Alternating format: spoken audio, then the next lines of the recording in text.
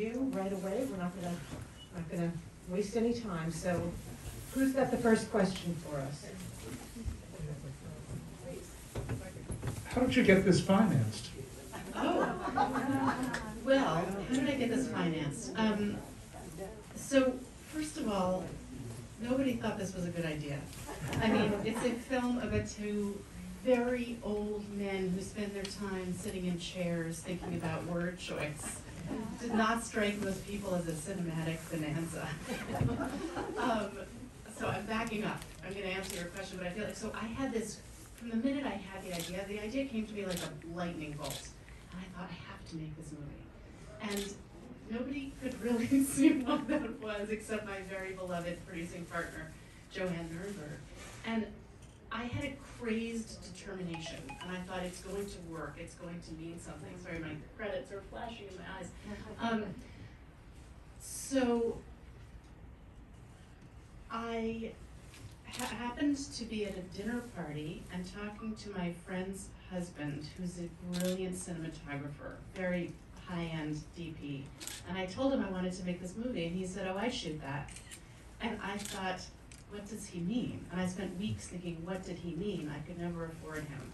And I finally worked up the courage to call him, and I said, Matt, what's your rate? And he laughed. He said, oh, you could never afford me. I'll just shoot it for free. so that allowed us to get started.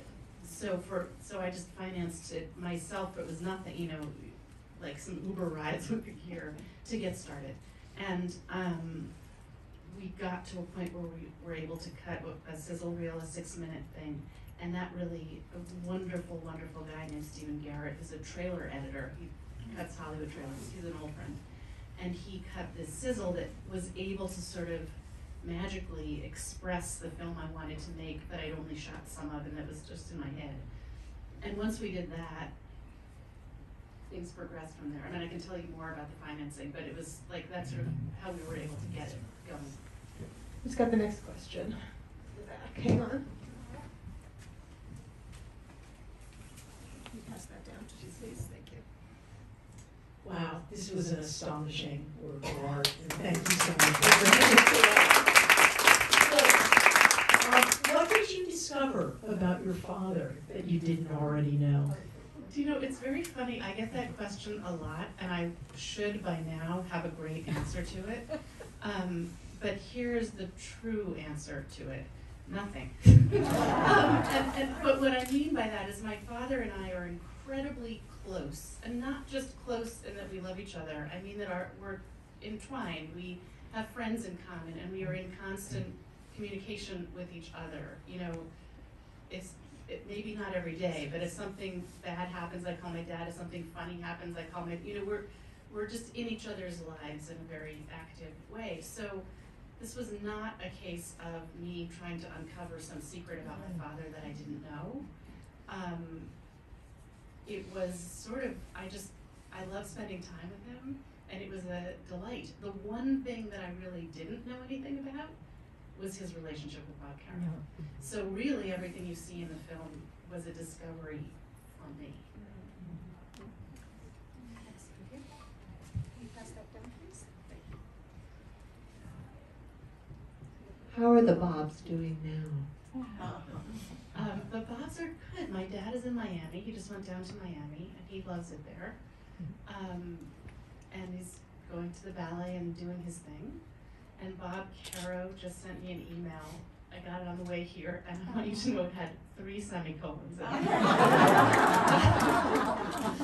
and uh, he's working incredibly hard. Um, so I think they're good. Knock on everything.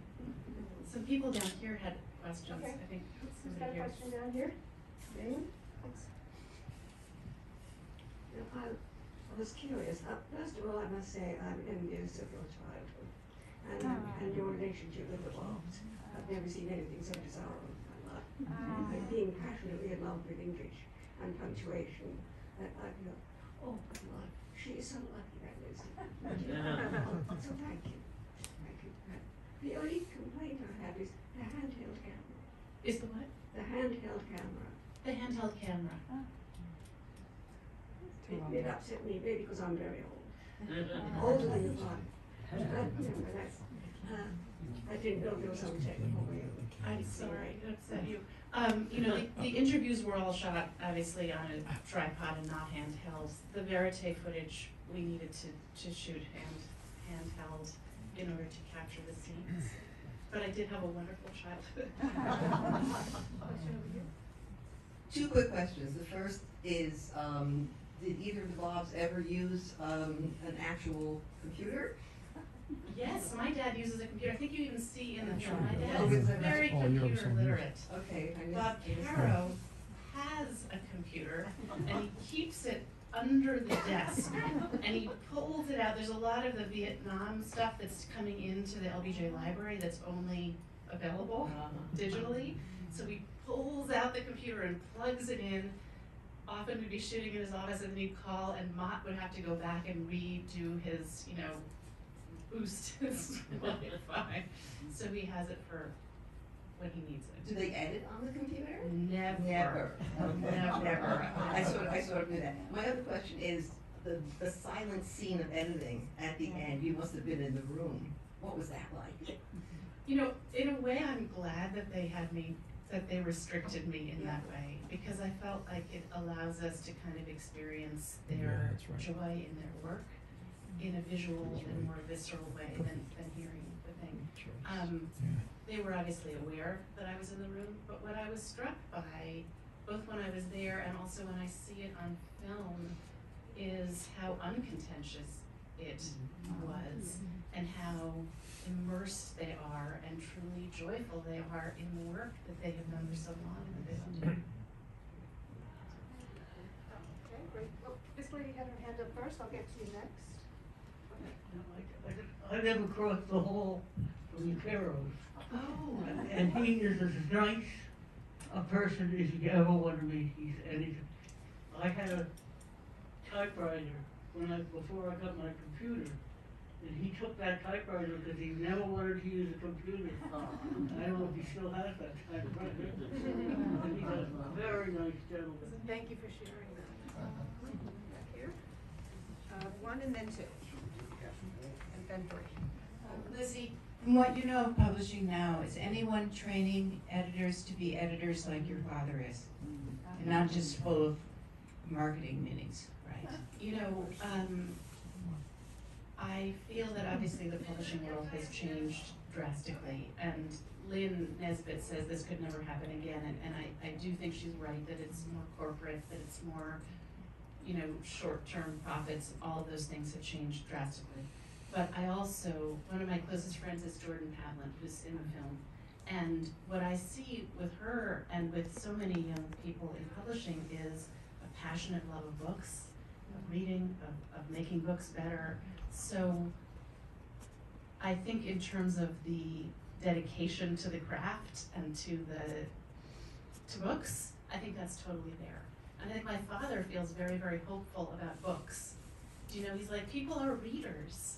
And people are going to want books. They don't stop wanting books. So some people are not readers, but those of us who are, are sort of going strong. And I've seen that. I've now been traveling all over the country with this movie, and it's been so heartening to me to see roomfuls of book people. They're out there. We're not just here on the Upper West Side, you know, which is, which is lovely in our. Uh, this lady here. uh, as, as a copy editor and sometimes editor, I love, love, love this movie. Uh, so this is sort of an editor question. Did your father ever explain why there couldn't be a cat in the first paragraph? He did not. He did not. I just took his word for it. Lots of questions. Uh, in, in, in terms of the means to an end, do you think your father or the author tries to guide the reader on the right, on their judgment and try to influence the book when they develop it? Do you- And Yeah, do you mean politically? for example, uh, for Robert Moses, was it worth it? Do you think they have an opinion? Oh, do you mean, sorry, I'm just, do you mean was what Moses did worth it, was worth it? Correct, that presumably there were shortcuts and the means and the ends Yes, I, I certainly couldn't speak for them or to that issue. I feel like I would have to lie down on the floor and I don't know what. But, um, do you know, I had this quite extraordinary experience a few weeks ago. I, I showed the film in Austin, Texas, and Luci Baines Johnson, daughter of LBJ, came to our screening. And I sat in the back of the auditorium like sweating. My hands were sweating. I thought, oh my God, the stolen election. Oh, no, you know, what is she going to think? It was terrifying to think that, right? And we had the most extraordinary conversation afterwards. And I know that the Johnson family was very against Bob Caro initially, and the whole the LBJ Foundation. They were all skeptical, and they slowly opened up. And Luci Baines Johnson, she said it.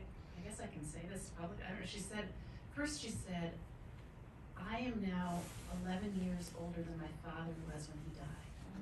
And I am mm-hmm. hoping that I live long enough to understand what his legacy really is in this mm-hmm. country. Mm-hmm. And then she's got tears in her eyes and she said, hold on to every moment you have with your father. So beautiful. And then she said, my mother had a saying. She would say, be careful what words you choose because words have wings. She said, I think that's what this film is about, people who choose their words very carefully. So to, to answer your question, I don't know if it was worth it or not, but I was so pleased to see that somebody who's so close to the person he's depicting there clearly feels that there's fairness and accuracy in how he depicted LBJ.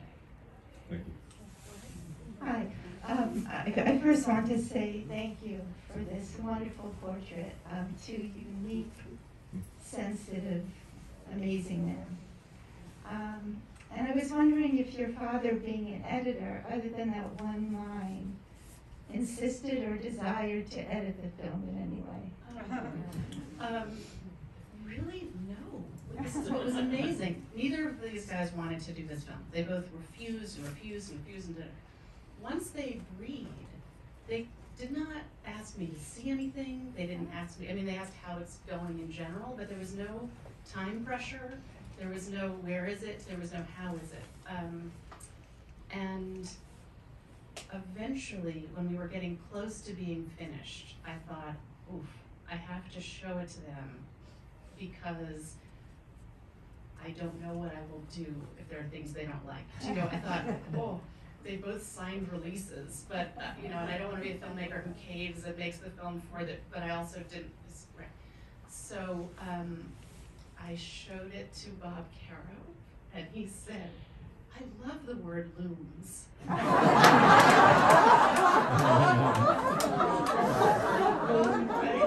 So?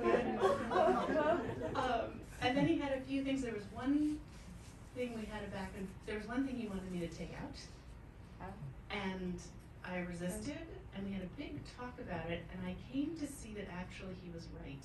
And then we had a sort of exchange, and he said, well, if you take that out, I could say more about this. And I went out to his house in the Hamptons, and I filmed him, and it was, he was right. He was right, he's a storyteller. Um, and my father had one criticism. He said, I really think there should be an exclamation point in the title. he said, he said it should be turned every page, exclamation point. It's an exhortation. and I said, know, that's interesting. I think that um, I live in the world of pe- texting and social media, and I'm not, you know, where the exclamation point is overused, and I think it might seem a little hysterical or a little cute. And he said, Well, I really think you should listen to me. I'm the guy who put the 22 in catch.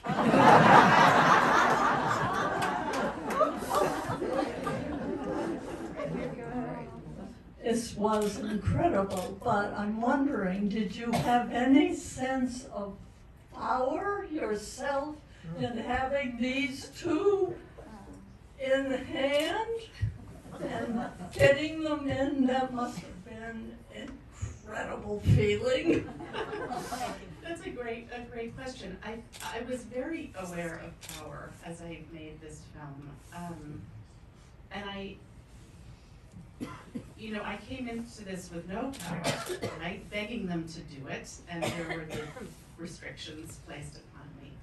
But I, I wanted to, I, didn't want this film to be about me, and I didn't want it to be a first-person film about, oh, I'm learning about my father, you know, um, but I felt that my very slow convincing of them and hopefully getting them to trust me was so interesting, and, um, I wanted to sort of infuse some of that into the movie. You know, I wasn't interested in having power over these men at all, but their, the, the power that I felt they gave me was their trust in me. And Bob Caro especially, over the years that it took to make this film, I think came to trust that I was doing something worthwhile. In fact, I once apologized to him, I said, Bob, I'm so sorry this is taking so long. I think you thought it would take me six months and it's seven years. And he said, first he said, you can sign the last person you need to apologize to. But, but he said, you know, and he, he did this thing that he does, you know, he closes his eyes and gets Yeah. very internal, and then he looked up and he said, I think seven years is the number it takes to make something that will endure. Oh, it seemed like the most generous thing to sort of give me or say to me, a kind of freedom.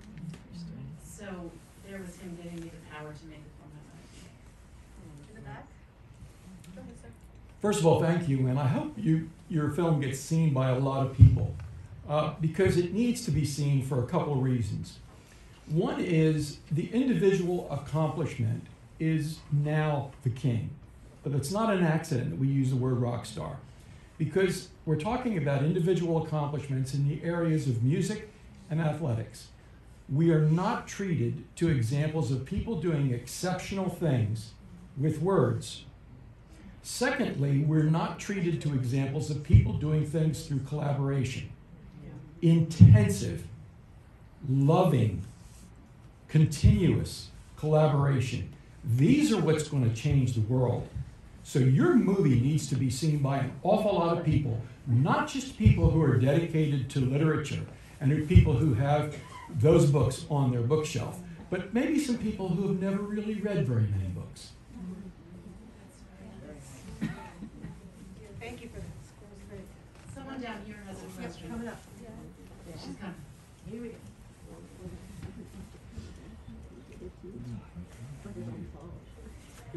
Any chance of this coming to Netflix? So here's the story. Um, the movie was bought by Sony Pictures Classics, which is incredible, and it's being released. There's a rollout in 150 cities across the country, which is just overwhelming. Will anyone in Duluth go and see this film? I don't know. There's cities I hope that so. are like, where? I've never heard of that city, but it's extraordinary.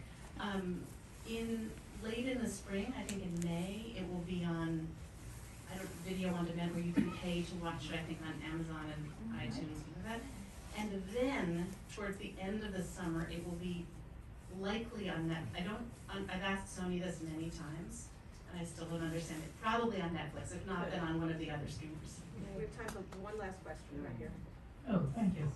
Um, you mentioned being infused in the uh, relationship, and I wondered whether you got to ask questions um, like the relationship between men and their fathers. In all cases, Isn't that fascinating? it completely. I had no idea. I knew my father had a very painful and difficult relationship with his father, but I didn't know that this theme of fathers would emerge as such an important part of the film. It just kind of bubbled to the surface. I didn't know about Bob Caro's terrible relationship with his father. I didn't know that uh, Bob Caro would talk about LBJ's terrible relationship with his father. I didn't know my father would quote Lear every five minutes. You know, and there were moments when I thought, oh gosh, do you have to have a terrible father to be a successful person? I really hope not, because I had such a good one. Oh, um, hmm. but I find it, I find it very moving. Hmm. These men who you feel are almost trying their whole lives to prove something, to prove their fathers wrong about themselves. Um, and I think my father's, my own father's commitment to psychoanalysis and to changing himself is pretty extraordinary and allowed him to be such an incredible father to me. She was a And to your brother also? and to my brother also. We have to wrap it up unfortunately, Aw. but thank you. Thank you. So much.